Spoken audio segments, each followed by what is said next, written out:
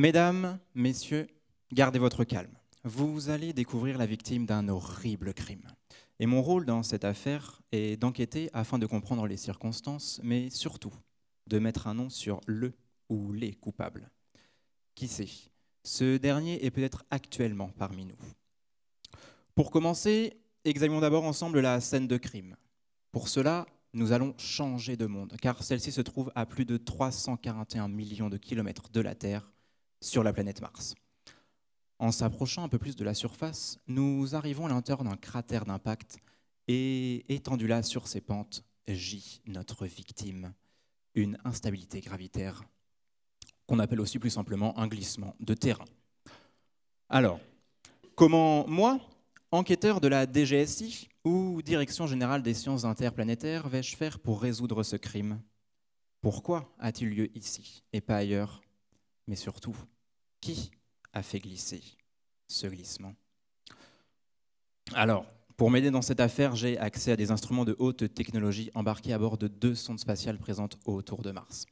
L'une d'elles est européenne et fait partie de la mission ExoMars. Elle porte le nom de code TGO pour Trace Gas Orbiter et possède à son bord la caméra Cassis qui me permet de recueillir des indices sur la surface martienne. Ces différents instruments m'ont déjà permis d'établir le profil de la victime. Celle-ci est très jeune, à peine 20 millions d'années. Alors, oui, très jeune, c'est un bien grand mot, mais je raisonne ici à l'échelle géologique. Pour moi, 20 millions d'années, c'était littéralement hier.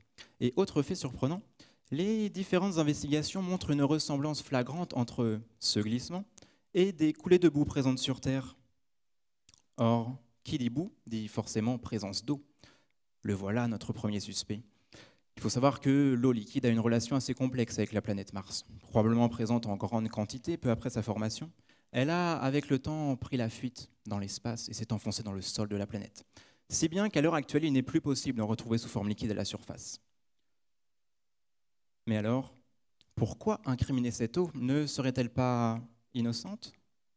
Alors, c'est tout à fait possible. Peut-être que l'eau n'est pas en cause, peut-être être sa cousine, la glace, la responsable. Et c'est là que réside tout mon travail d'enquête. En analysant la géomorphologie de ce glissement, je cherche à recueillir des preuves et à établir des faits.